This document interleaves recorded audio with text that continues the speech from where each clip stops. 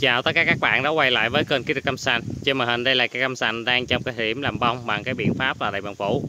À, Đối với cái vườn này vừa tiến hành là đậy bằng phủ xong Cho nên là cái vấn đề nước trong mương thì vẫn tiếp tục giữ để tiến hành là phun cái cử thứ hai.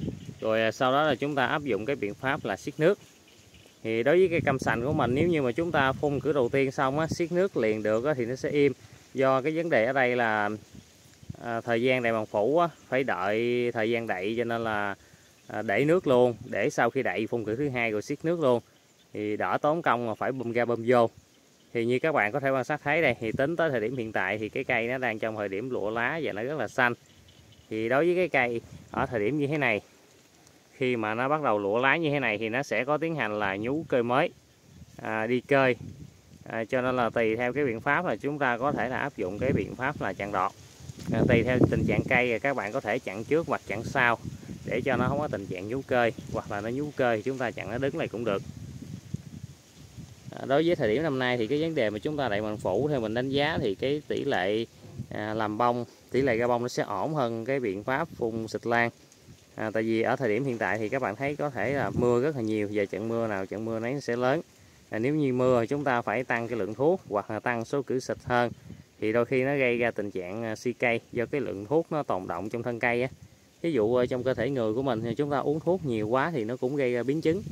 Còn đối với cây cam cũng vậy khi mà các bạn làm bông tiến hành đưa những cái thuốc, thuốc ức chế làm già quá già lá già đọt già cành để nó tượng mầm hình thành mầm hoa thì nó cũng gây ra tình trạng là si cây nữa nó làm già lỗ gỗ hoặc là đôi khi là nó hư mạch gỗ à, đối với cái thời điểm làm bông á, nếu như mà các bạn muốn bảo vệ cho cái lá cây của mình nó được xanh không có bị nhánh đánh á, thì các bạn có thể kèm thuốc nhện vô được bình thường tùy theo tình trạng cây thôi. Ví dụ à, ở thời điểm lụa lá chúng ta phun một lần rồi sau đó không có phun nữa. Đối với cây không có mang trái đối với cây mang trái thì các bạn à, có thể cử thứ ba chúng ta phun thêm một lần nữa cũng được để bảo vệ cho cái tình trạng nó được tốt. Thì đối với những cái cây này à, cây chúng ta có thể thấy nè cái bộ tàn trà tàn nhọn tàn nhỏ của nó tương đối là ổn, cho nên là tỷ lệ ra bông về sau có thể là sẽ được, sẽ đạt. Thì cái bộ tàn trà nó rất là quan trọng, đó là cái bộ tàn mà nó sẽ ra bông và mang trái sau này. Nó rất là ổn, nếu như mà ở thời, những cái thời điểm mà chúng ta không có tiến hành à, tạo cái bộ tàn trà, không có tiến hành phủ đọt hoặc lấy cho nó thật là nhiều á, thì về sau cái cây của mình nó sẽ mang trái yếu hoặc là trái trên đọt, bắt buộc chúng ta phải lãi. Còn nếu trái trên đọt mà chúng ta để thì nó sẽ gây ra tình trạng suy cây cây không có ra được cây đọt à, đối với cây cam của mình mà muốn cho cái cây nó khỏe nó không có bị xỉu trong cái thời điểm nuôi trái á, là trong đó có một cái cách là đừng có để trái trên đọt. Còn nhiều cách khác nữa cũng như là quản lý cách đi phân kích rễ hoặc là hạn chế xài phân hột quá nhiều. Đó, đối với cái này các bạn thấy ha nó có cái độ già lá tương đối là đồng loạt. Thí dụ ở thời điểm cây cái cây cử đầu tiên á cái cây của mình nó không có già lá đồng loạt thì các bạn có thể tiến hành phun một cử để cho nó so lá cho nó già đồng loạt sau đó chúng ta áp dụng cái biện pháp à, làm bông thì cái cây nó sẽ đều hơn. À, đối với đại bằng phủ như thế này nè đối với đại bằng phủ thì cái tình trạng nở gốc nó sẽ diễn ra mùa nắng hoặc mùa mưa thì cái lúc nào nó cũng diễn ra nhưng mà đối với cái thời điểm mùa mưa thì cái quá trình nở gốc nó sẽ diễn ra mạnh hơn do cái ấm độ ở trong clip nó có được ổn hơn còn đối với mùa nắng thì nó vẫn nở được ha các bạn, nhưng mà nó nở với cái tỷ lệ chậm hơn. Nhưng mà nó nở hơn so với biện pháp phun xịt lan. Tại vì các bạn thấy nè, chúng ta đậy nè, chúng ta bao phủ cái gốc lại, thì cái lượng nước thuốc nó sẽ trôi xuống, nó không thấm vô trong gốc và cái lượng thuốc chúng ta đưa lên cây nó cũng ít nữa. Và trong đó có một ẩm độ nhất định và cái rễ nó vẫn phát triển được bình thường. Thì lúc đó cái cây của mình nó sẽ được cái tình trạng là nở gốc. Khi cây nở gốc thì về sau cái quá trình mang trái của cây nó diễn ra cũng được tốt hơn nè à, đối với biện pháp đậy màng phủ thì cái vấn đề xịt nước rất là quan trọng.